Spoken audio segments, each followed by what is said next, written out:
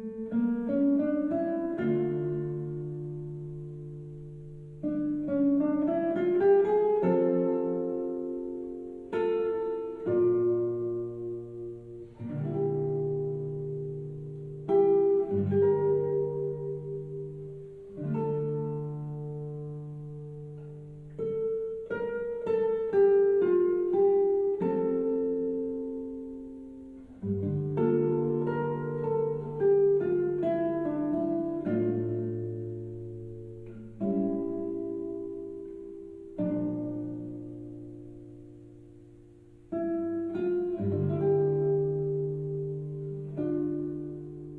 When I recall my childhood in Armenia during the 1870s, I see the image of my father, whose influence left its trace on my whole life.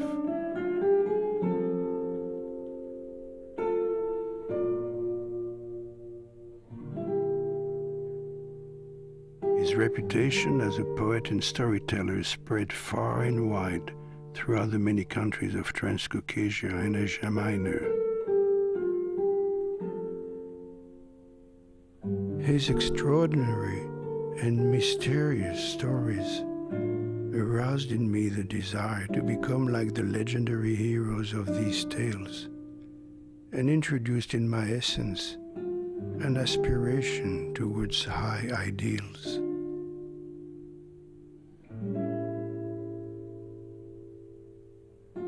When I was 10 and attending the Greek school, my grandmother insisted, in life, never do as others do. Either do something nobody else does, or do nothing at all. Just go to school.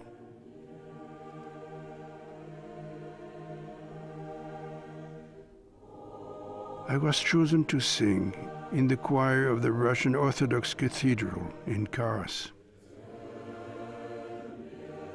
The dean considered me particularly gifted. Although my family had destined me for the priesthood, he advised them to have me study medicine as well. According to him, the duties of a priest went hand in hand with those of a doctor, for the body and soul are connected. He suggested that I be taken out of school for I was wasting my time there. He became my first tutor, but entrusted me to other teachers for certain disciplines. As for me, I dreamt of specializing in a technical field. From my earliest childhood, I liked to make and repair all sorts of things in my father's workshop. I quickly acquired my own clientele.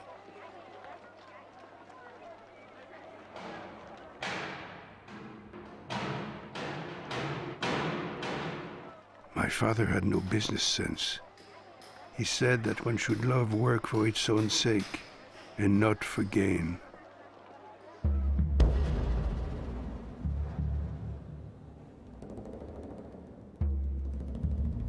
The young Gurdjieff is witness to certain supernatural phenomena which leads him to question the meaning and purpose of life.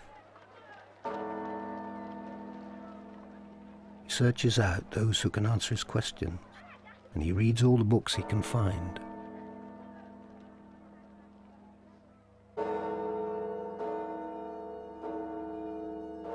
I made a pilgrimage to the Armenian holy city of Etchmiadzin.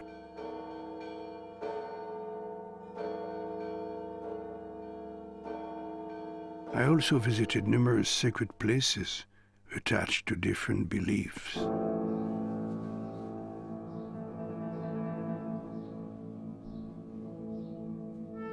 Was passionately interested in archaeology and explored the ruins of lost cities.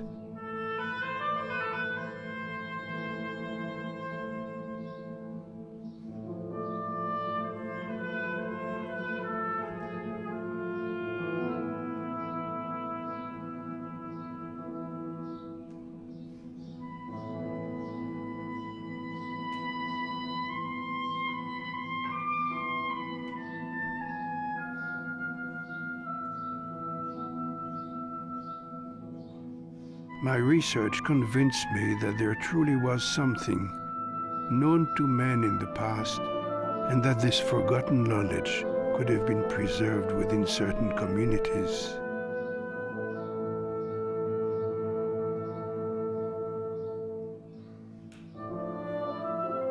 At the age of 22, Gurdjieff settles in Tiflis, the capital of Georgia. He works as an interpreter in the construction of a railway through the valleys of the Caucasus. The local authorities offer him large commissions to arrange for the railway line to pass through their towns. In this way he builds up enough money to undertake his first long journey.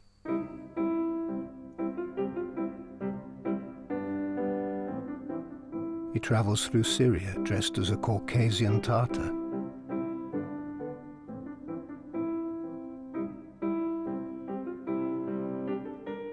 Jerusalem, he earns his living as a tourist guide for foreigners, mostly Russians.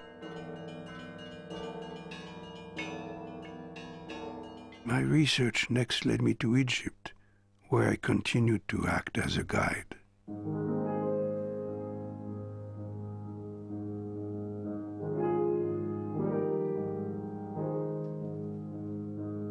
In my free time, I try to understand the intention of those who had built these monuments. What meaning did they transmit across thousands of years?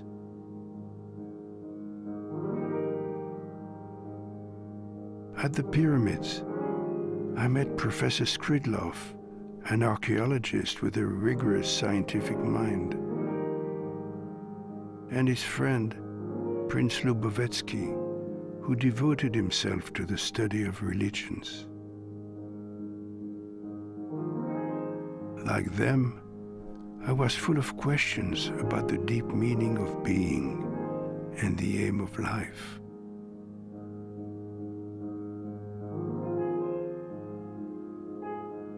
The three of us formed the nucleus of the Brotherhood of Seekers of Truth.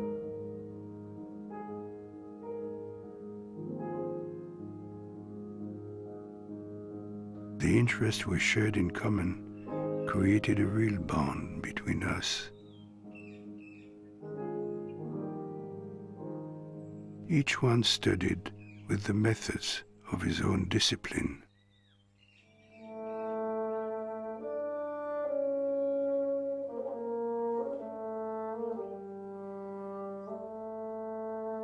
But we soon came to the conclusion that to attain our goal, we must share our experiences with other seekers.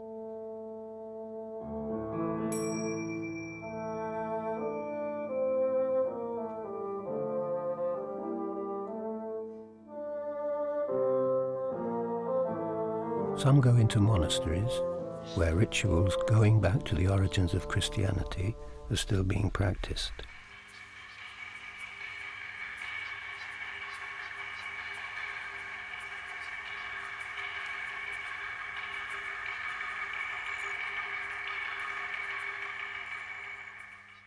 Constantinople, Gurdjieff visits the brotherhoods of various dervish orders.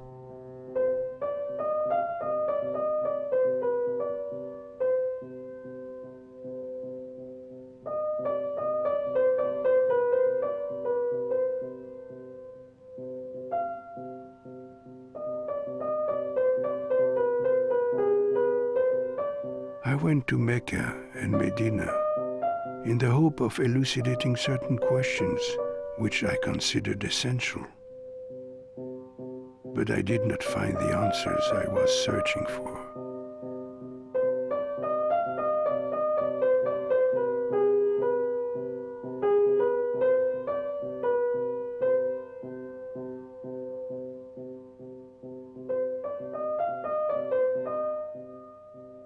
I concluded that from the outset, all the elements of the secret doctrines of Islam had been concentrated in Bokhara.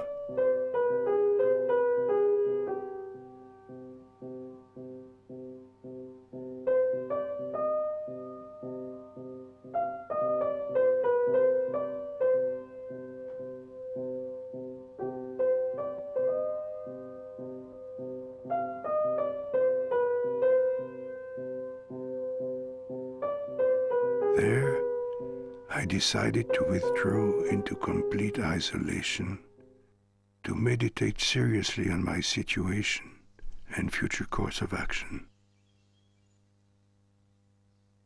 I then understood that the answers to the questions that were tormenting me could only come from contemplative thought arising from the subconscious.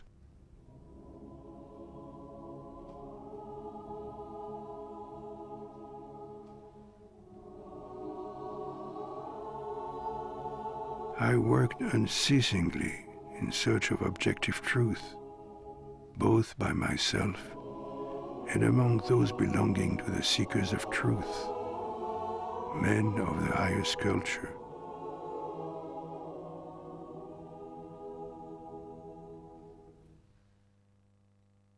To provide the necessary means for my research, I opened a traveling repair shop, which was very successful throughout the Transcaspian region.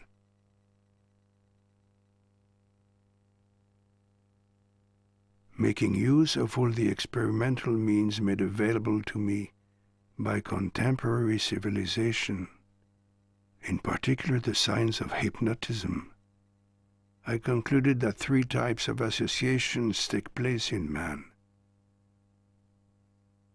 Thought, feeling, and motor instinct.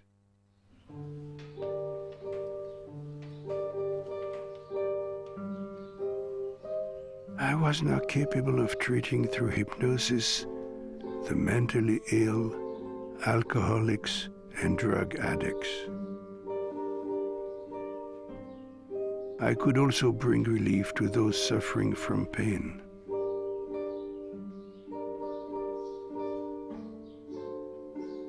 Several years pass, full of adventures, dangers, encounters, and dramas.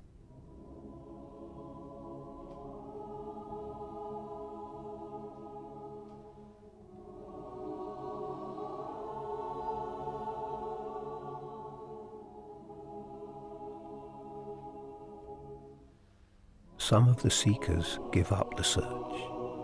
Others die accidentally.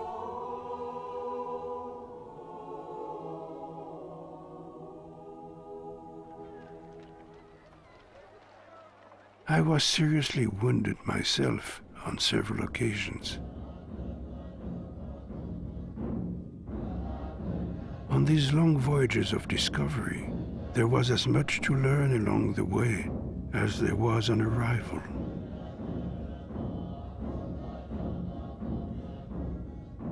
In the course of one perilous expedition in the heart of Central Asia, I came into contact with a universal brotherhood where all the members, whatever their religion, were united by God the truth.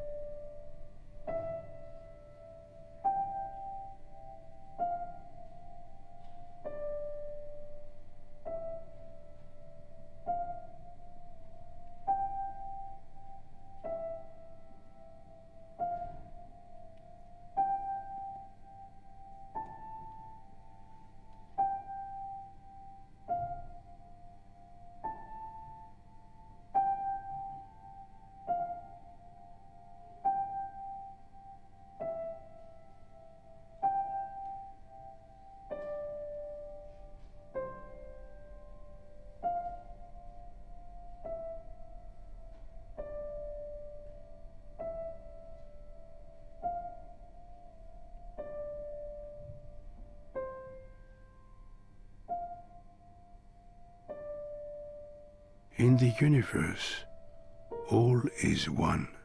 Only the scale differs.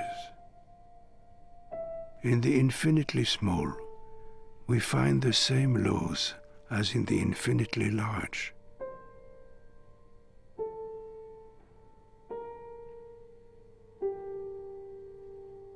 From the first ages of mankind, all religions affirm that man was created by God in his image.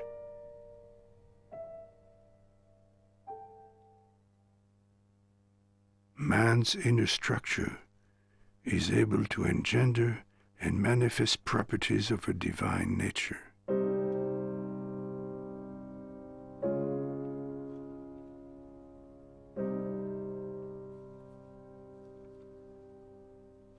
Then took the decision to concentrate all the forces of my inner world in order to undertake a sacred task.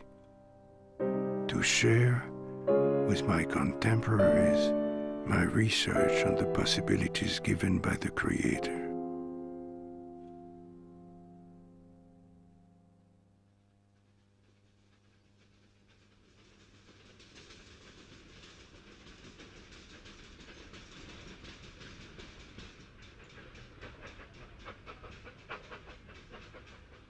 Be financially independent, Gurdjieff throws himself into all sorts of businesses.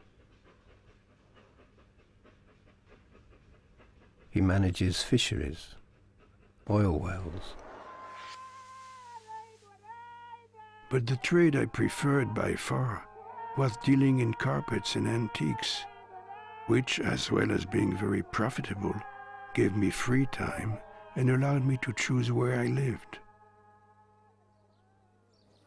I continued my research into the unconscious and led several groups of people interested in my experiments. After four or five years of strenuous labor, I liquidated all my affairs, and in 1912 I settled in Moscow. I gave a series of lectures which attracted numerous intellectuals and scientists. Man has a complex structure. In the colorful language of certain Eastern teachings, man bears a similarity to a horse-drawn coach consisting of a carriage, a horse, and a driver. The carriage corresponds to the body, the horse to the emotions and desires, the driver to thought. But the passenger sitting in the carriage, instead of being the master, embodying consciousness and will, is now nothing more than the first passerby. Deprived of a master, contemporary man is in the grip of a coachman, half asleep, half drunk, and lost in daydreams.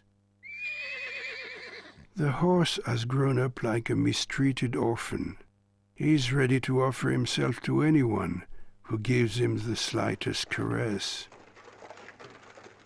As for the carriage, intended by nature to ride on bumpy roads, it has little by little adapted itself to city streets. But from lack of maintenance, it is in danger of breaking up at the first jolt. It is only when a man begins to understand that he has not the slightest power over himself, due to the absence of a permanent I, that he can perhaps attain, by great efforts, the possibility of his own development. I took the first steps toward the creation of an institute dedicated to putting into practice in man's life everything I had understood.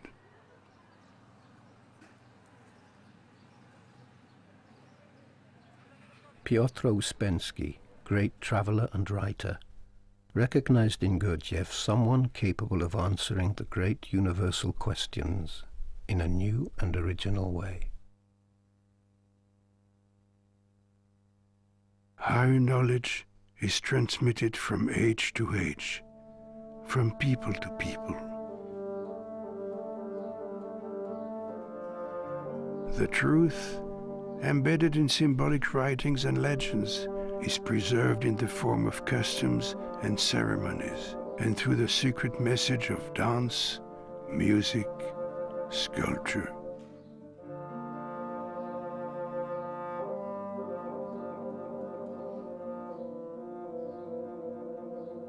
Gurdjieff puts to the test those who wish to see him. He arranges to meet the young composer Thomas de Hartmann in a disreputable cafe at the risk of compromising his reputation as an officer in the Imperial Guard. De Hartmann, fascinated by the intense presence of this strange man from the Caucasus, decides with his wife Olga to join the group which meets in St. Petersburg.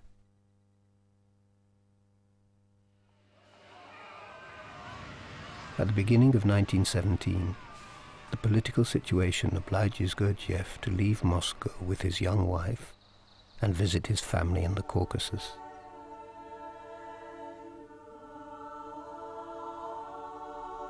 With my father, then 82 years old, I resumed the conversations of my childhood. Does man have a soul? And if so, is this soul immortal? I think, he said, that man is born with a particular property that allows a very fine substance to accumulate in him, and which is capable of acquiring an existence almost independent of the physical body. When a man dies, this substance does not disintegrate at the same time as the body, but only later, after it is separated from it.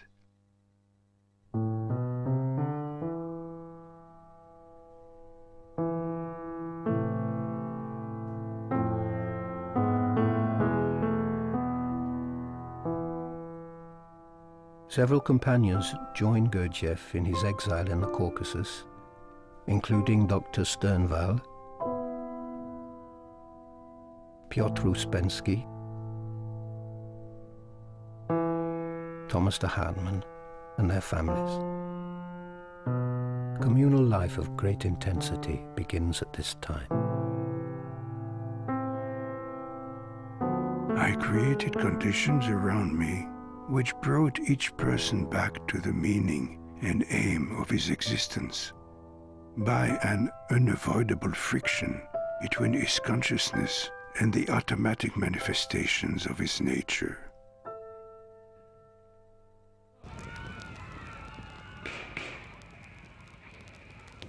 Political events soon took such a turn that not only work, but even survival became a problem.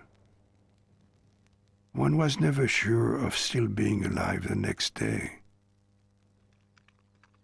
To escape this hell, I organized a scientific expedition whose official purpose was to make a survey of dolmens in the Caucasus.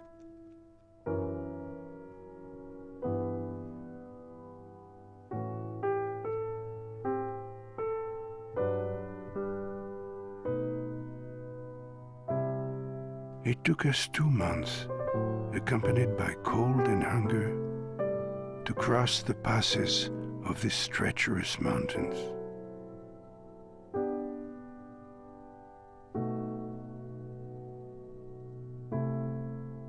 I was tormented by a continual concern for those closest to me, those who had followed me, and the others who had stayed behind in the turmoil.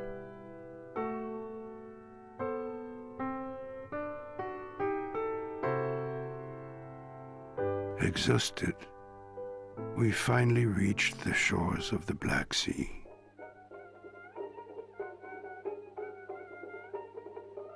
They reached Tiflis at the beginning of 1919, where a relative calm still reigns. Gurdjieff decides to open his Institute for the Harmonious Development of Man.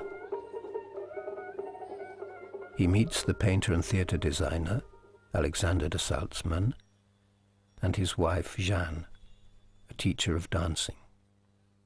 Alexander de Salzmann illustrates the prospectus of the Institute using allegory. To know, to be, to understand.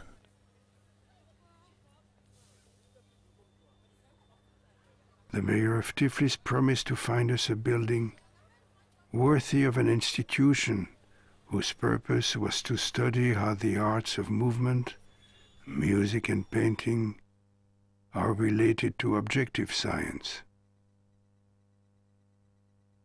In temporary premises, work on oneself began in earnest from early morning until late at night.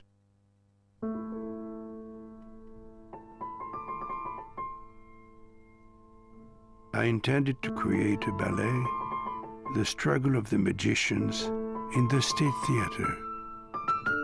I had already worked it out in Moscow. Alexander de Salzmann prepares the sets and designs the costumes.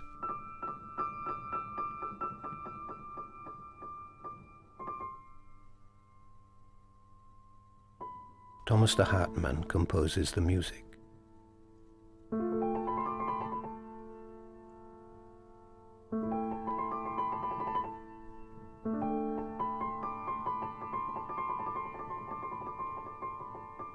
Jeanne de Salzmann, with her pupils, studies the choreography created by Gurdjieff.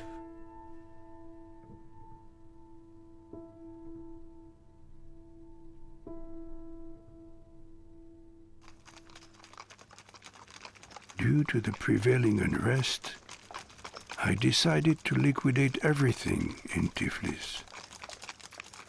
Cross the border and use my time and energy more effectively in some other country.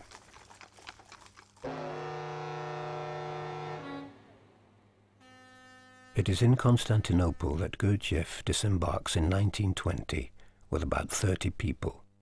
He opens a new institute in precarious conditions.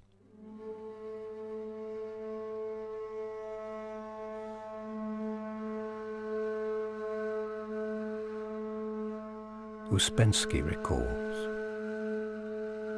It was a very interesting period. We wandered through the bazaars and old quarters of the town.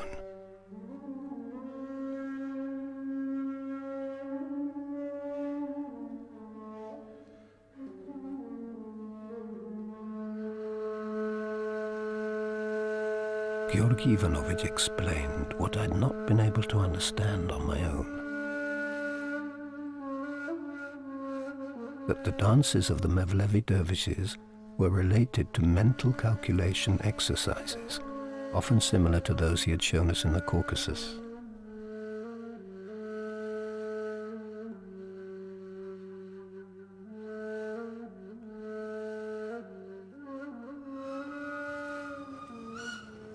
Having obtained visas for Germany, Gurdjieff leaves Turkey on a freight train with some of his followers.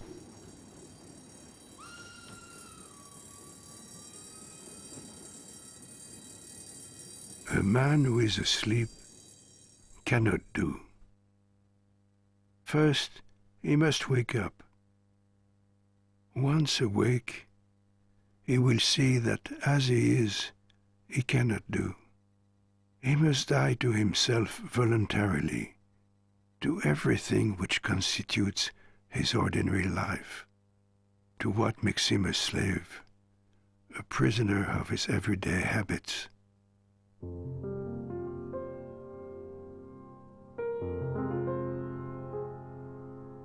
If he dies, he can be reborn. But the being which has been born must grow and learn. When he has grown and has understood, then he will be able to act consciously. He will be able to do.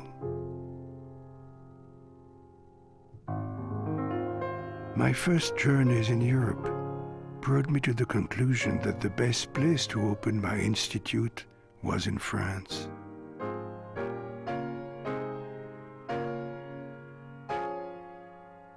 In 1922, thanks to the support of English patrons, he buys the Chateau du Prieuré near Fontainebleau.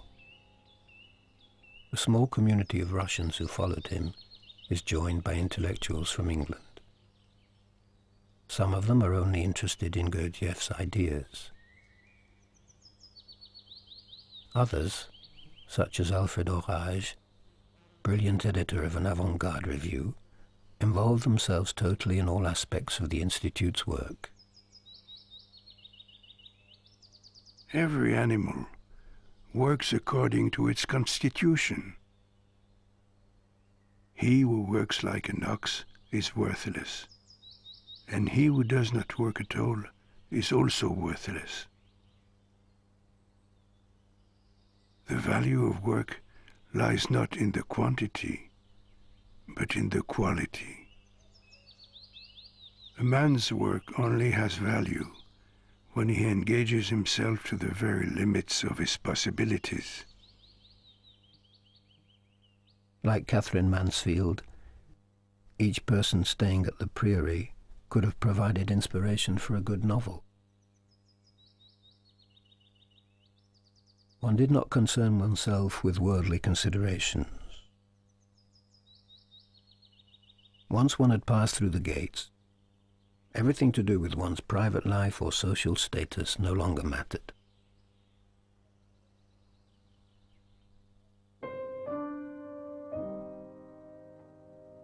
Here, there are neither Russians nor English, Jews nor Christians, only those who pursue one aim, to be able to be.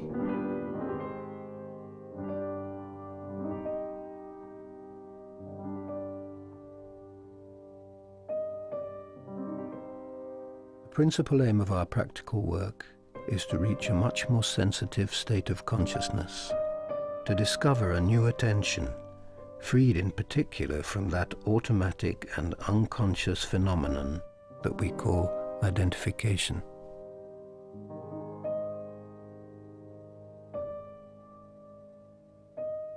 I organize lectures almost every day. I presented certain information which must be assimilated to undertake work on oneself.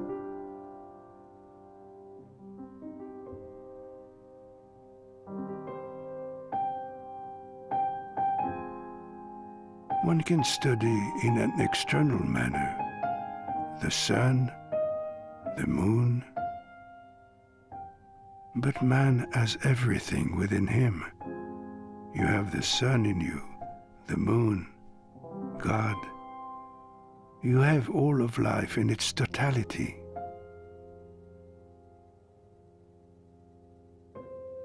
Gurdjieff gives ever more complex exercises.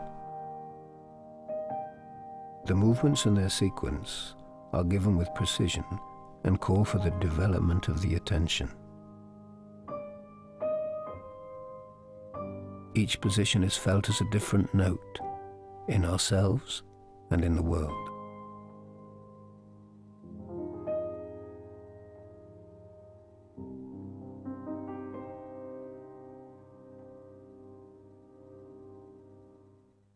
Georgy Ivanovich closely follows the fluctuations of our inner state.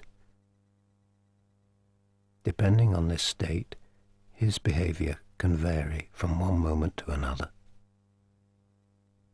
One is often struck by the fact that he always manages to make do with whatever is at hand.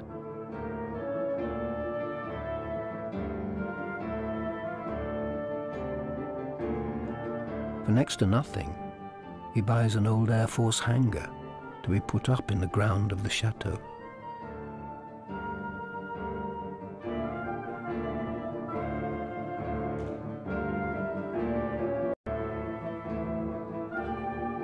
Every man can do whatever others can do. Genius, talent, all that has no meaning. The secret is simple. To do things like a man. Working like a man means to feel what one is doing, to think about why and for what end one is doing it, how it should have been done before, how it should be done today and what is the best way of doing it?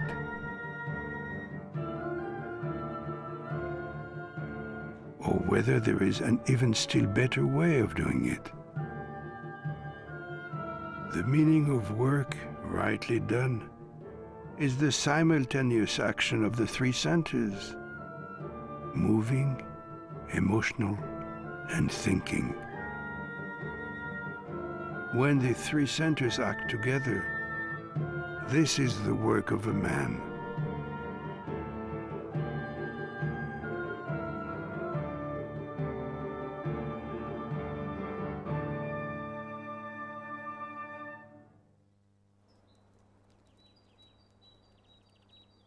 By his presence, Yuri Ivanovich exhorts us to recognize the laws of nature and reminds us that all life, in the image of breathing, results from two opposite but complementary movements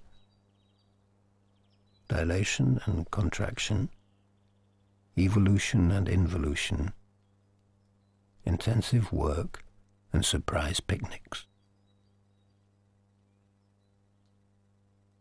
On Saturday, the day of rest, the women go to the Turkish bath. An old cellar was transformed into a steam bath, and a bathing pool was hollowed out of the rock. During the festive dinner on Saturday night, all that matters is who will tell the best story. With ingenuity and skill, Alexander de Salzmann transforms some frames retrieved from the chateau's old greenhouse into stained glass windows. As Georgy Ivanovich says, if thought is active, the hand can become almost as quick. So, thanks to uninterrupted work, which sometimes goes on late into the night, the study house is completed in a few weeks.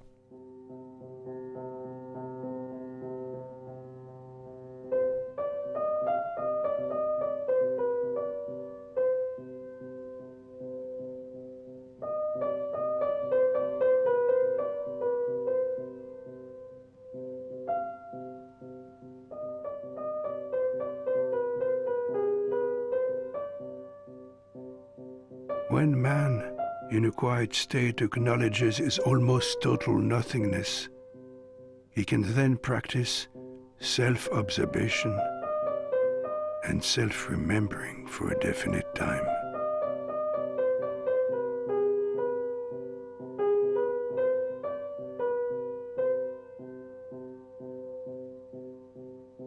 In knowing himself, he will know his inner structure he will be able to see.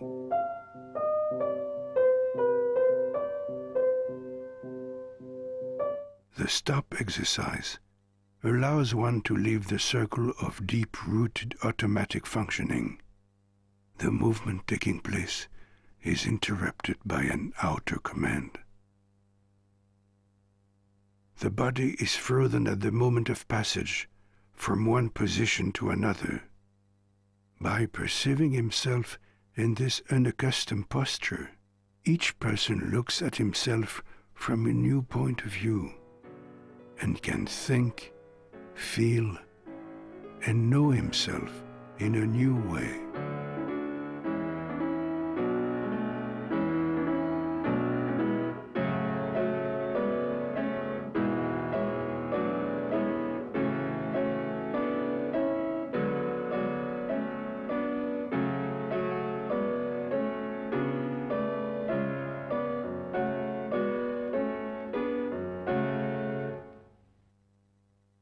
Journalists present at these demonstrations concoct fantastic interpretations of this work on consciousness.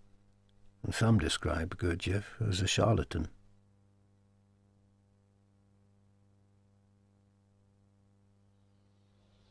He succeeds in finding a way to have his mother and sister brought to the Prieuré, along with those of his family who survived the massacres in Armenia. He settles them in the Paradou, a small house close to the chateau.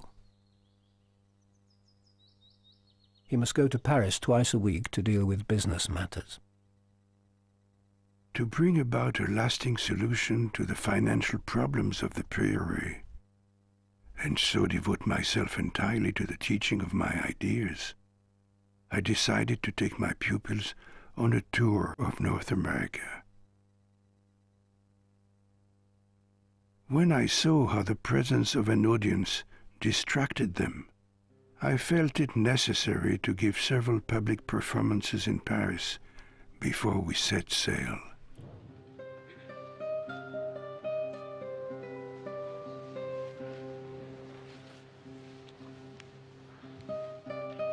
Georgy Ivanovich displays such patience and sensitivity that a feeling of respect rises towards him.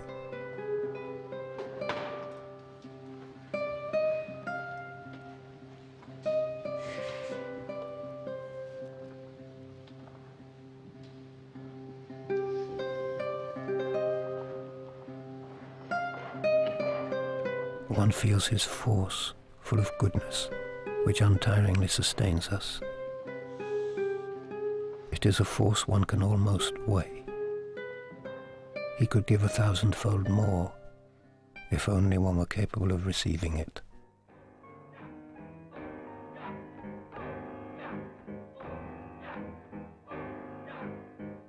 The end of 1923, several performances are given at the Théâtre des Champs-Élysées in Paris.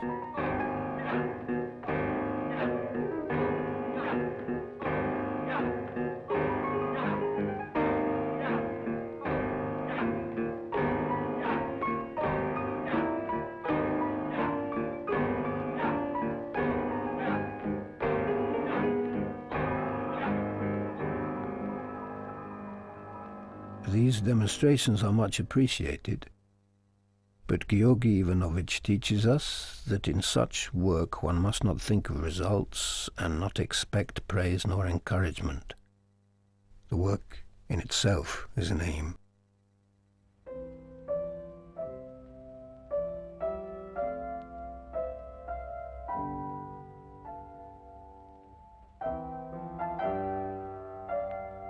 When the performances are over, he organizes a large New Year's celebration at the Priory with many guests and presents for all the children.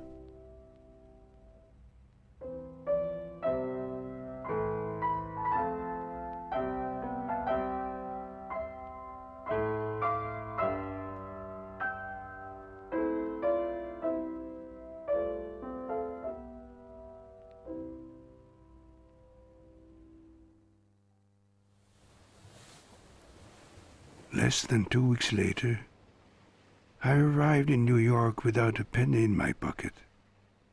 I was accompanied by a troop of 46 people, most of whom, like myself, didn't speak a word of English. We were warmly welcomed by Orage. I had given him the task of bringing together those interested in my ideas. In this city where God the dollar reigns, where prohibition and the foxtrot are rampant, Gurdjieff doesn't waste any time.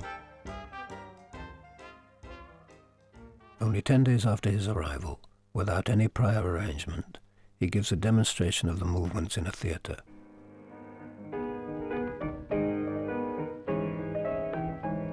In difficult conditions, they go to Philadelphia and Boston to present their work.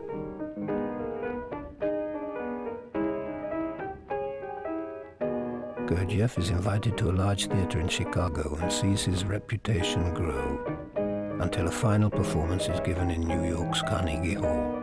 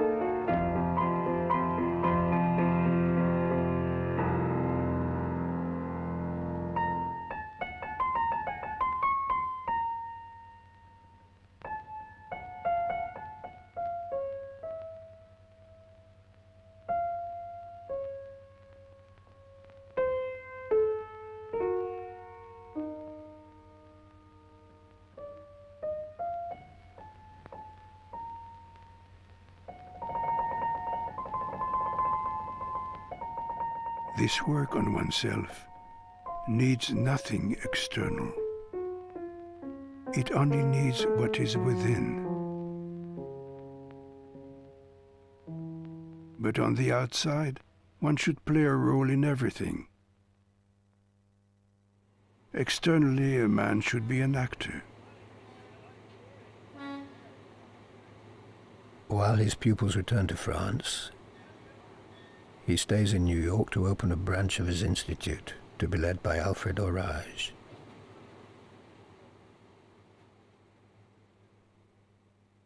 We must always start with ourselves. Take ourselves as an example, because we cannot see others through the mask they wear. Only if we know ourselves can we see another. For all people are alike inside. Others are like us. They have the same good intentions to become better, but they cannot.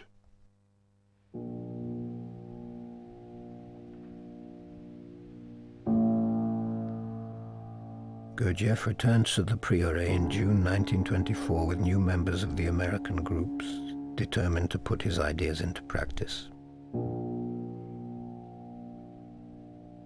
One month after my return, my unfortunate physical body, along with my car, crashed straight into a huge tree.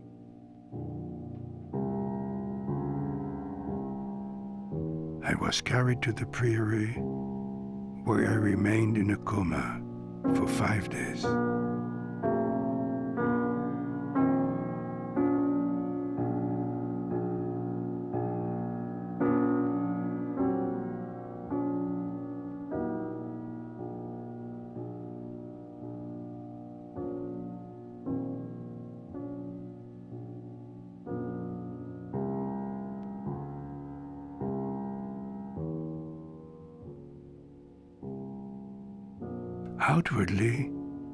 Strived always to appear calm, so as not to worry my family, especially my wife and mother, both already seriously ill, utterly sacrificed themselves to take care of me.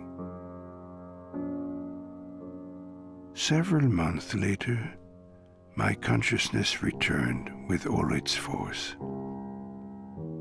Since I was unable, even when in full health, to put into practice the truth which I had elucidated for the well-being of man, it was necessary at all cost to do it at least in theory before my death.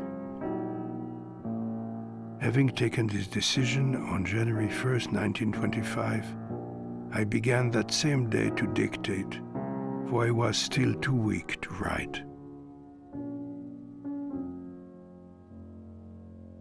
As my theme, I chose events on the scale of the universe, and as the main hero, I chose the great Beelzebub in person, which would not fail to arouse hostility towards me in my future readers.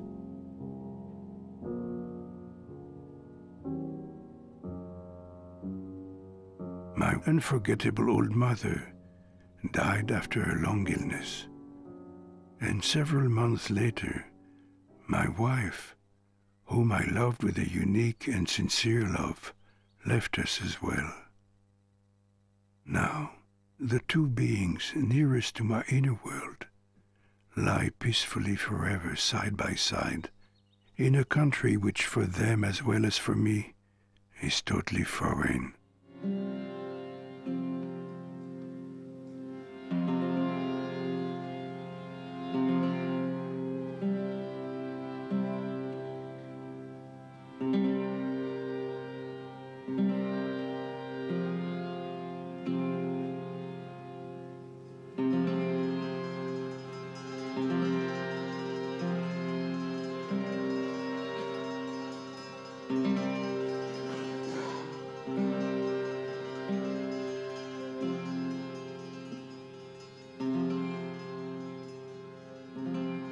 In spite of the constant physical and moral suffering I experienced, I continued to write, to write unceasingly.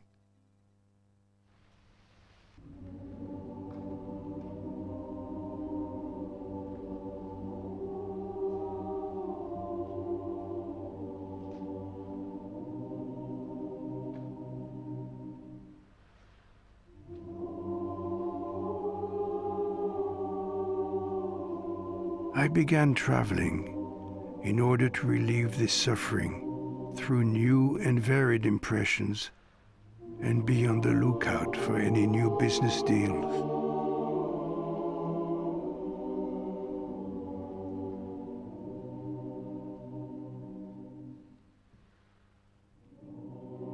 Journeys with Georgy Ivanovich are always disconcerting. Person expects to be doing one thing and finds himself responsible for something else he has no training for. These conditions reveal each person's self-esteem.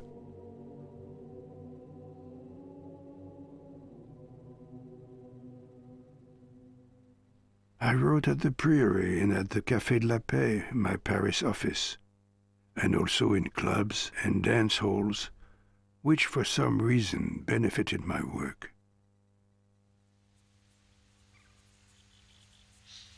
The children in Gurdjieff's family, like those of the Priory's residents, take part in the life of the community. They are responsible for a little vegetable garden and look after the animals.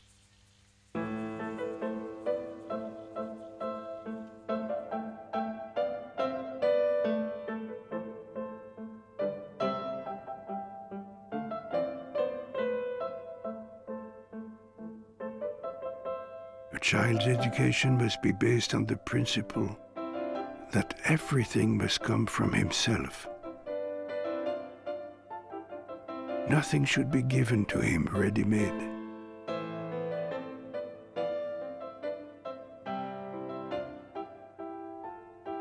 One should only propose ideas, only be a guide.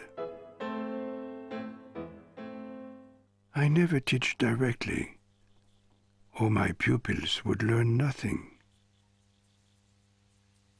If I want a pupil to change, I speak to someone else, and in this way he learns.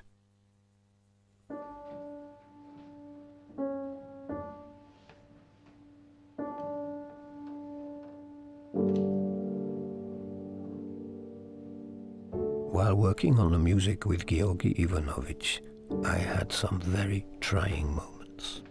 Thomas de Hartmann remembers. To be able to grasp the melody which he played on the piano with only one finger was quite simply an amazing feat. To challenge me, he would often introduce subtle differences even before I'd finished transcribing it. This drove me to despair.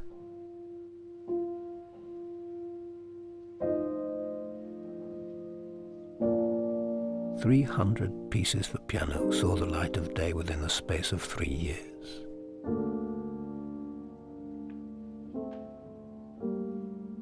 At the beginning of 1930, Gurdjieff returns to America. From then on, he spends several months a year in the United States without ever interrupting his writing.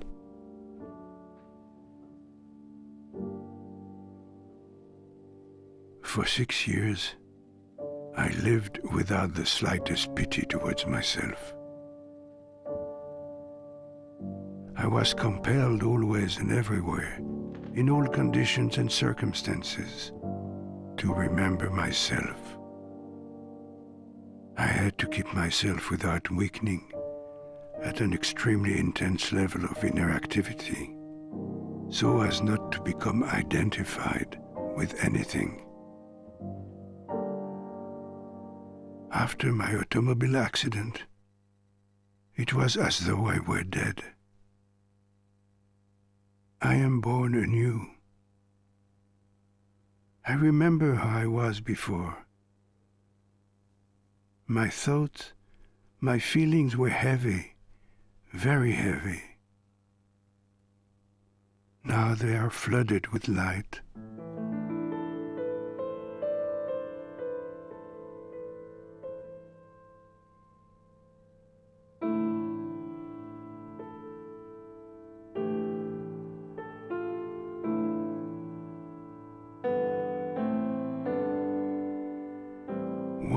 One month after I had finished the first series of my books, I began writing again. I chose to evoke my father's wisdom my first teachers, and my meetings with remarkable men during the course of my many journeys. In this way, I hope to answer everyone's curiosity about the outer forms my life had taken. Due to the worldwide depression, Gurdjieff finds himself obliged to close his institute and to part from his longtime companions.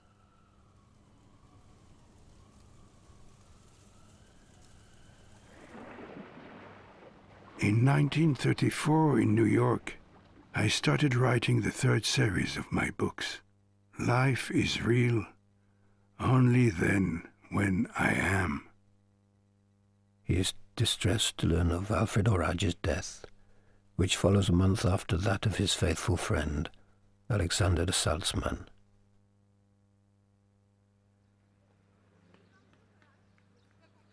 In Paris, Gurdjieff now lives a more solitary life. A small group of American women writers and artists sees every opportunity to meet with him. With his consummate art for upsetting any and all habits, every moment is a pretext for making something understood, for constantly challenging one's beliefs. By a word or just a look, he can reduce to ashes the brilliant setting of the Côte d'Azur. Never forget that every stick has two ends. The devil can lead you to paradise, and God directly to hell. The most beautiful roses have thorns. That is what gives them their value.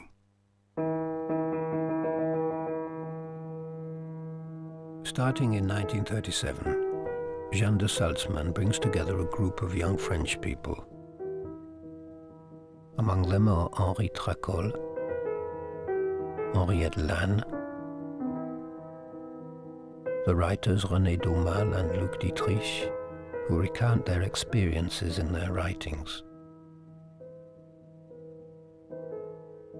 In spite of the threat of war and the strong pressure of his American pupils to settle in the United States, Gurdjieff decides to remain in Paris.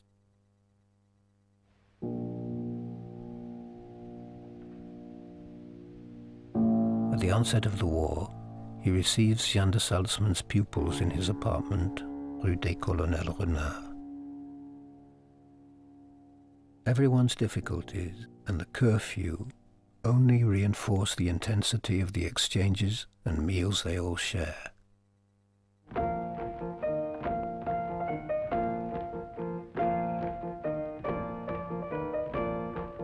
All through the war, his pupils overcame every obstacle to go several times a week to the Salle Pleyel, where Gurdjieff created new movements.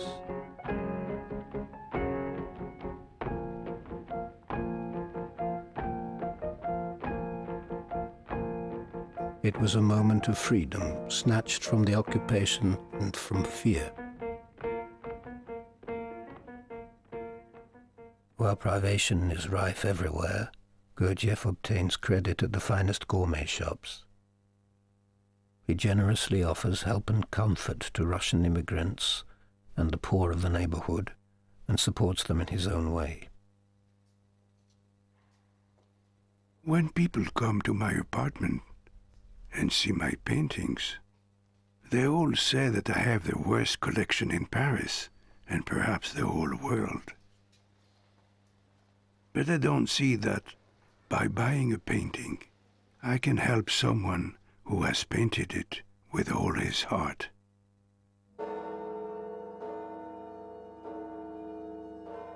Mr. Gurdjieff always supervises every detail of the preparations for Christmas. According to an established patriarchal ritual, he offers each guest a present chosen especially for him. He will not hear of being thanked and provides for everyone an unforgettable moment where a sense of the sacred is shared by all.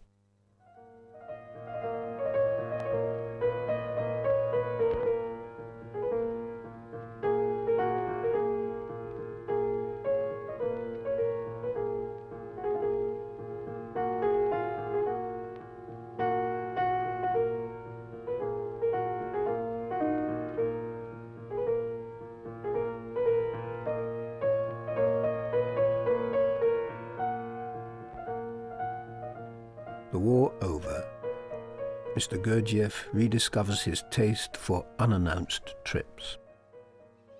He knows how to win everyone's trust, only to abruptly make them feel their own self-importance, gullibility, or greed. He plays a role in order to make us present to ourselves, our weaknesses, and our automatic reactions.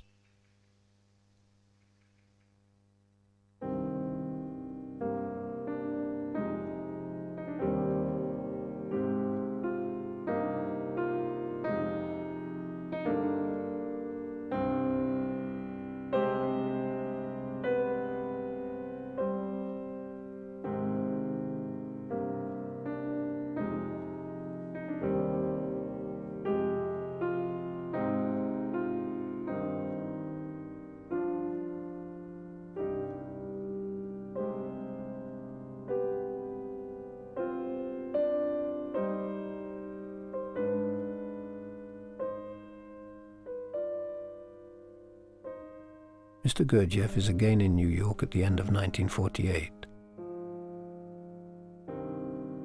In his favorite cafe, where he so often used to work, he meets those who, with Piotr Ouspensky, have been studying his ideas for a long time. Ouspensky has just died, without having resumed his relationship with Gurdjieff since he left the Prieuré 25 years earlier. On the ship taking him back to France with Jeanne de Salzmann.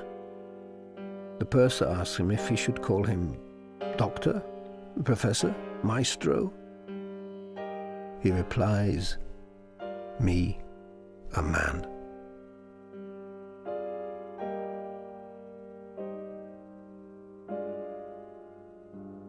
Gurdjieff decides to publish Beelzebub's tales to his grandson on a subscription basis. After 50 years of preparation and having overcome the greatest difficulties, I have now reached the moment to publish the first series of my writings. In order to accomplish this task, I need the help of all those who have understood something of the value of my ideas. I intend that the first series of my writings shall be made freely available to all who are in the need of their help. All those who have been personally helped by my ideas will have the opportunity to repay a part of their debt and help me to harvest what I have sown.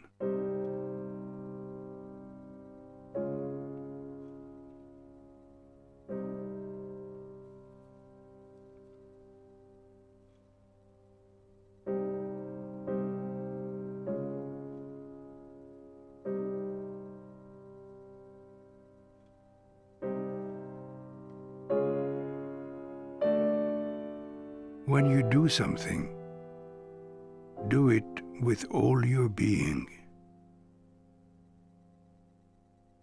One thing at a time.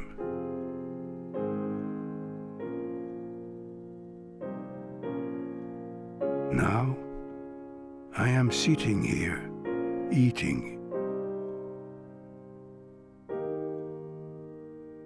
For me, nothing else exists in the whole world. I am eating with all my attention. You must do likewise in everything.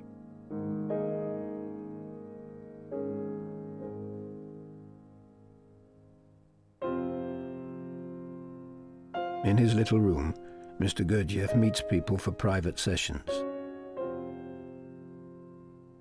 He gives precise instructions over a cup of coffee and helps each in his personal search.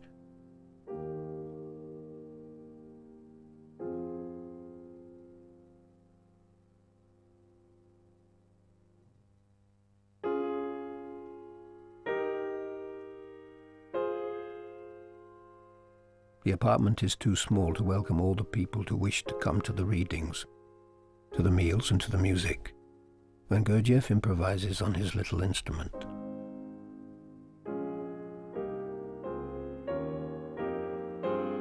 Every day the dining room is packed. The guests squeezing even into the hall to take part in the ritual of the toast to the idiots.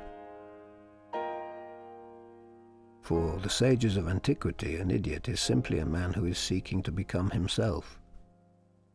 Those who live in illusion treat him as a fool, an idiot.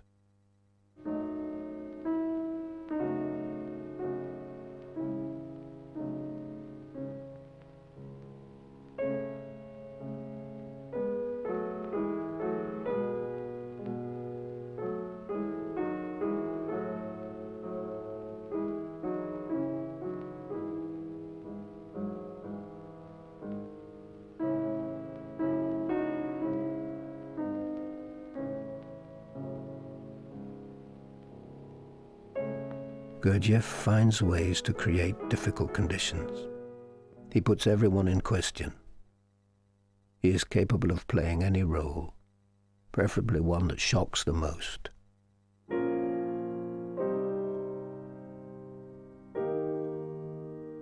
Beneath his gaze, the reactions he arouses bring intense moments of sincerity.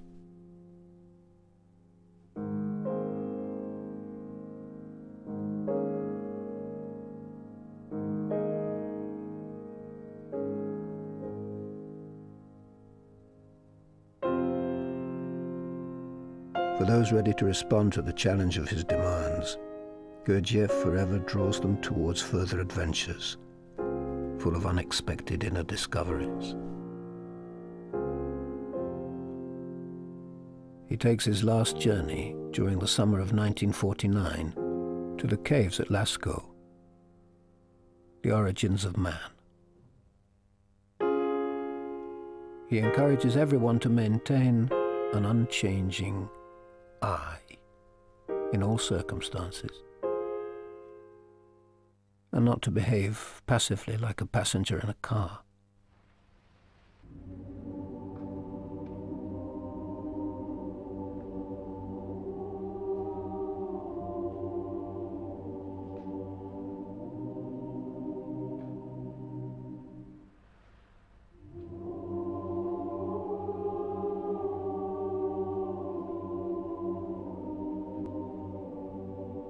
Have worked much.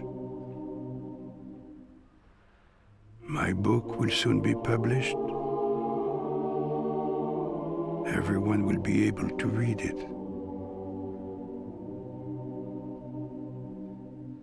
Then I will go far away, where I will be able to rest.